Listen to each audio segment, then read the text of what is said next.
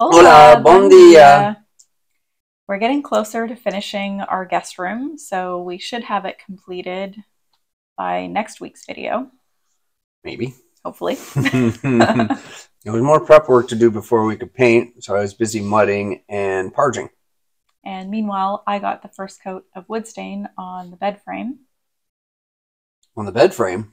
Yes. Really? Yeah. Hello, Dracula. So it should be finished at the same time as the paint for the. Cool. And we went to Viseu again, so you'll see part of a bathtub reglazing job. Yeah, it's probably going to be part one of two in a bathtub reglazing job. Mm-hmm. And both of us keep hearing something rooting around outside our bedroom window in the middle of the night. And it's not one of the cats. So make sure you stay tuned to the end to see what our mystery critter is. It's me. it's not you. I finally got a picture of it. I wandered around outside at like 1:30 in the morning and I got a picture of it. So stay tuned and see what it is.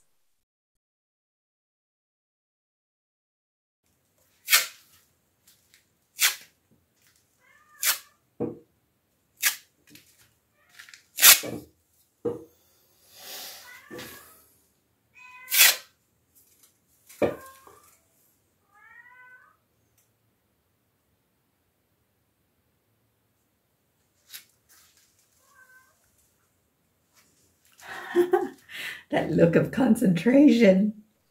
Slight change in plans. We thought we were ready to paint. So we have the drywall ready and the lime wash removed, but this top section needs to be parged so that it matches the parging on the wall. So, and we have to remove some of the overhang from the cement slab above the bathroom because it is not even. So today Grant is going to parge both of the sides. So one block worth. And then, oh, this is hard to see.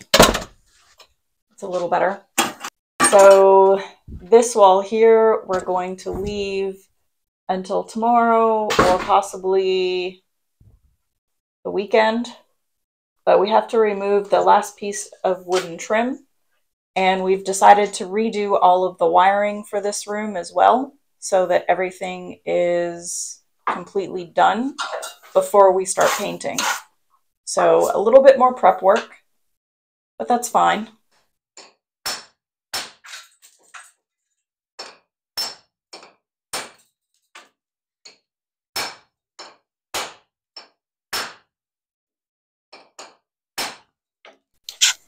So this is what happens when we try to work. Grant got the bucket out so he could mix some cement. And then these two decided it was a cat bed. So Rocky and DJ are now hanging out in the cement bucket. Hey, hello monkeys. Really? Is that yours? Talk in the microphone. I think Rocky's now bigger than DJ. His head's bigger. This is Rocky, no? Yeah, This is DJ. yeah, that's Hard to tell them DJ. DJ's head is smaller, but his body's a bit fatter. Hey DJ, what's this? Trying to get the microphone?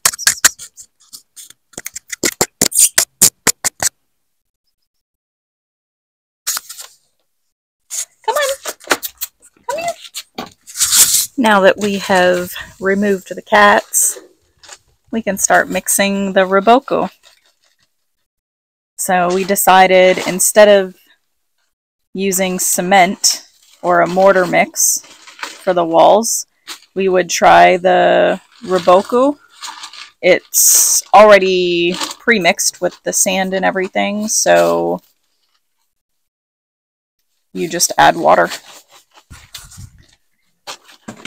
The last batch of sand that we got is very coarse, so I figure this is going to be a lot easier than trying to sift the sand and yeah, still ending up with some bigger little bits of gravel in there. So you can see the parging is finished on that top little section here, just to even out the wall on both sides. And we have yet to remove the wooden trim on this side here. That will be done tomorrow and Monday, removing the wooden trim, removing the light fixture, and redoing the wiring. So soon we'll be ready to paint.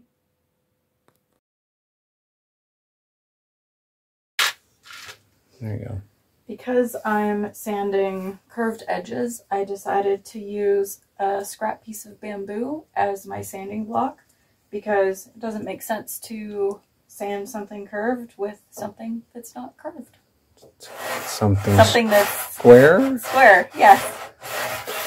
so if you want curvy edges, you need to use a curvy sanding block. You're a square. No, I'm the curvy edges, the weird curvy edges. Like a circular. No? Look, it works really well.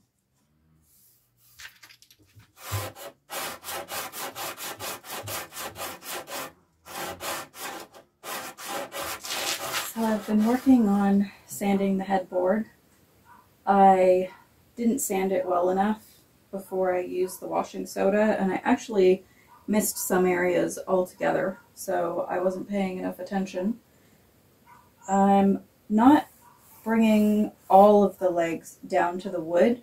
I've decided that the more rounded areas, so this section at the top, this section here, and possibly the whole bottom portion of the foot, I'm going to do with chalk paint and I'm going to do the detail on the sides as well as the detail on the main part of the headboard in chalk paint and then the rest will be done with wood stain.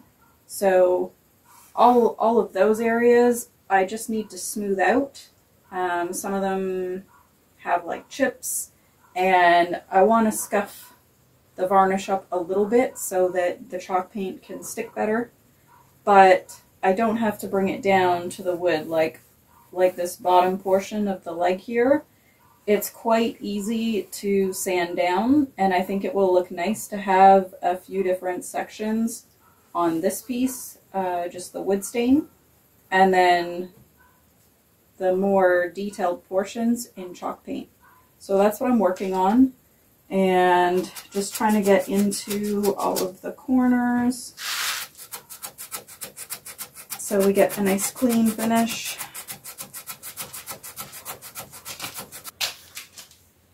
What you doing in here? I decided to do the first coat of wood stain on the headboard.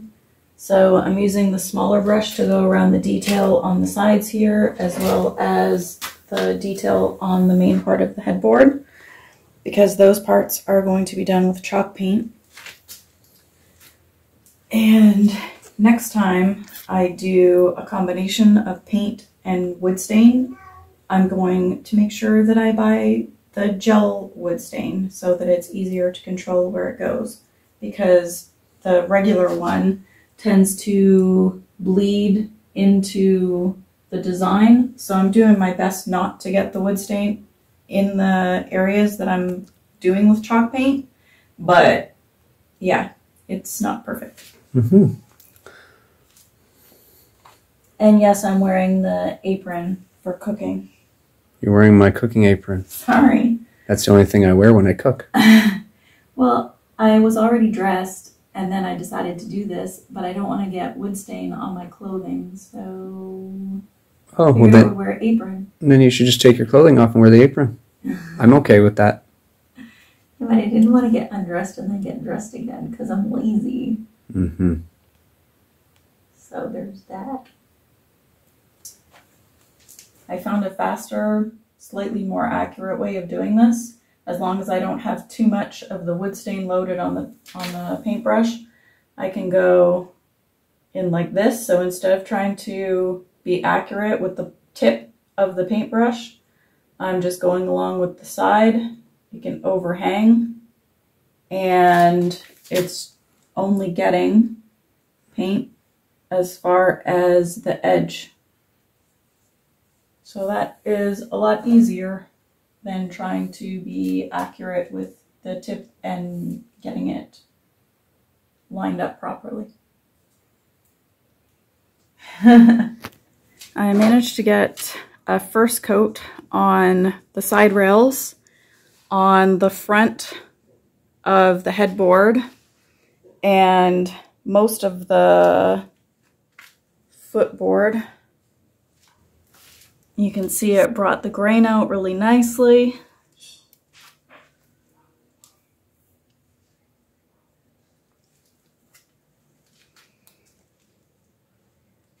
I think I said in last week's video that the wood stain is a little darker than what I was hoping, but it looks nice. It gives a nice warm color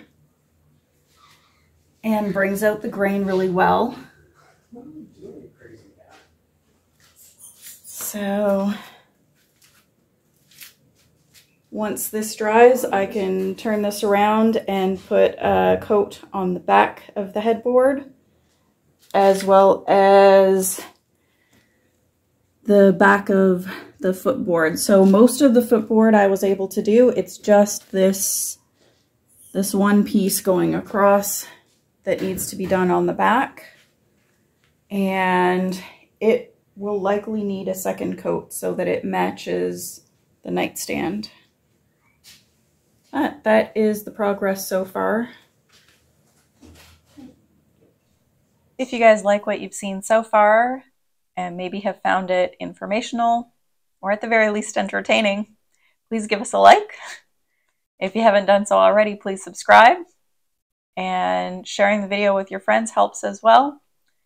And we like reading your comments, so please leave us a comment and we'll be sure to get back to you. All right. First things first, let's get this drain out.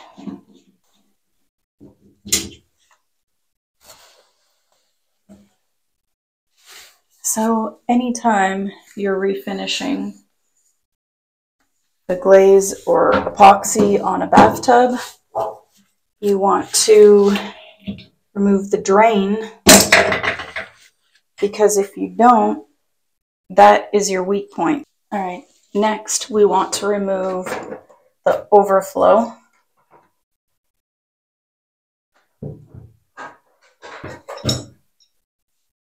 So there we go. Now the reason that you want to remove the overflow and the drain is because when you're reglazing, you want the glaze to go all the way to the bottom edge here so you get a complete seal as opposed to ending where the edge of the metal drain is because that creates a weak point. This is where your new enamel is most likely to start chipping and peeling and then also water can get underneath and create rust. So you see a very distinct line here where the metal drain sat when they reglazed it the last time. And I haven't cleaned this where the overflow was, but you can see a ring where it sat. And I can actually feel a ridge where the new enamel sits higher so I've finished scuffing the surface of the bathtub with sandpaper and you can see that I have blocked the drain with a piece of sponge. So now we're ready to start using the paint stripper.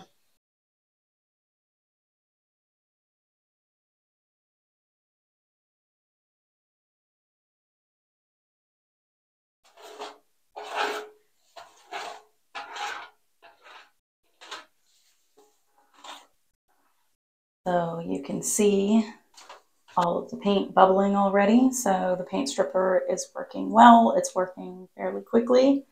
So the sections that are bubbling, I'm going to start scraping those off now.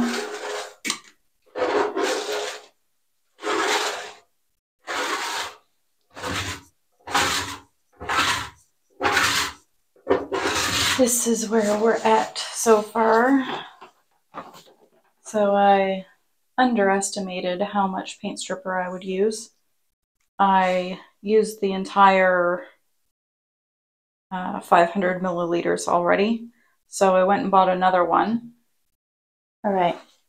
So I've finally removed, I would say 95% of the epoxy.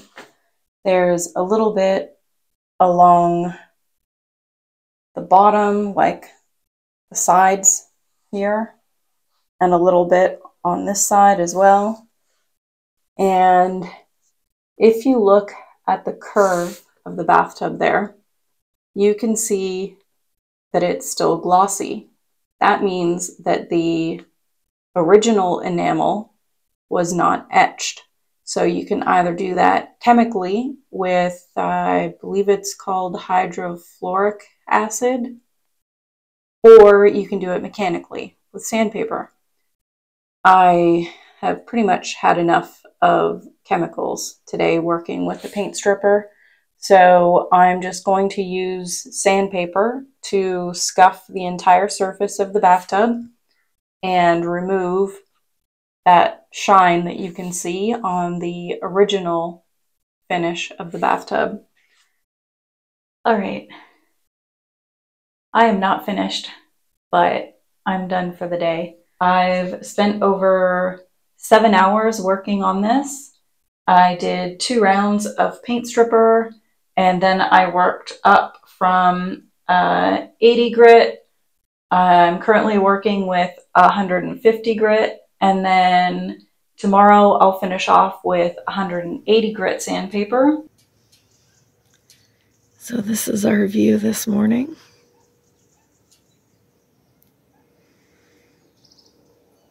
It's a nice cool morning.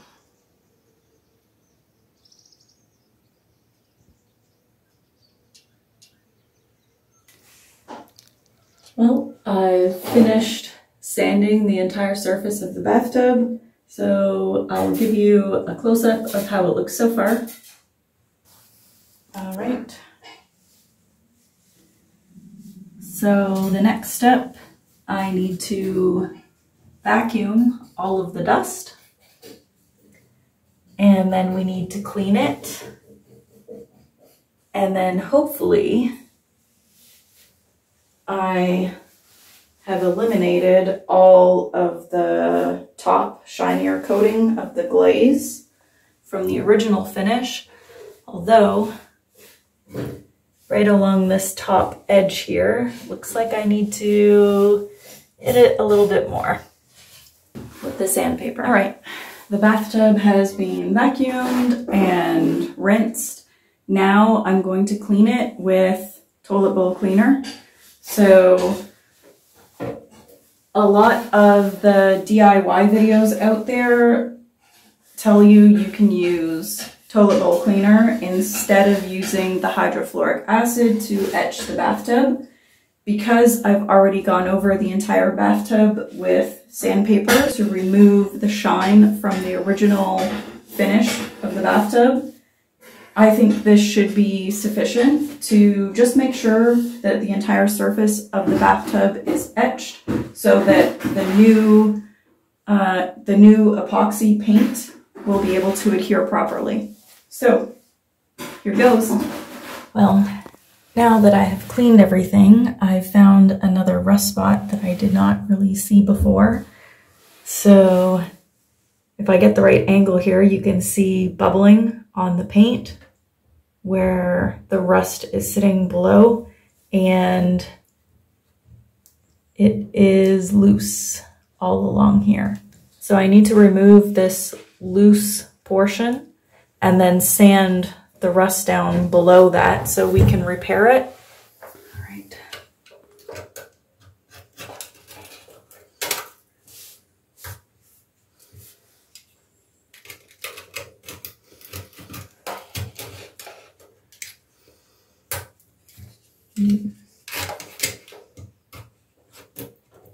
Bit that it's loose here.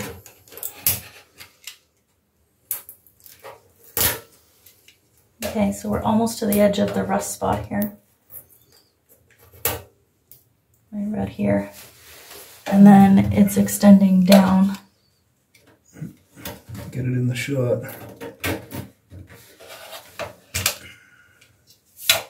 Sorry. It goes all the way down the bottom.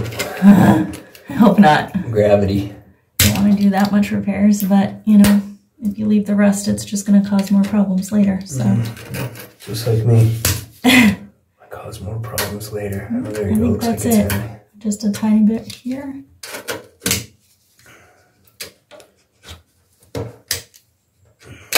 Yeah, the rest I should be able to get with sandpaper. This part's loose. There we go. That should do it. Okay. So that is my progress so far. And I found a few more heavier rust spots. So I'm going to bring my Dremel kit and my drill with me next week so that I can remove all of the rust and then it will be ready for the patching compound. And because we're not the only ones that are working here while the owners are away. I've left a sign so that anyone else that is here, including the lady that comes to clean, knows not to use uh, or clean this bathtub and not to use any water on this bathtub. And our mystery critter turns out to be a hedgehog. So I went out at about 1:30 in the morning and found this little guy wandering around outside our bedroom window. I was able to get a couple of pictures of him, but I wasn't awake enough to think of taking video. So I will try to do that next time. Thanks for watching. I hope you guys enjoyed our video. Take care, and we'll see you guys next week. Okay, Okay, bye.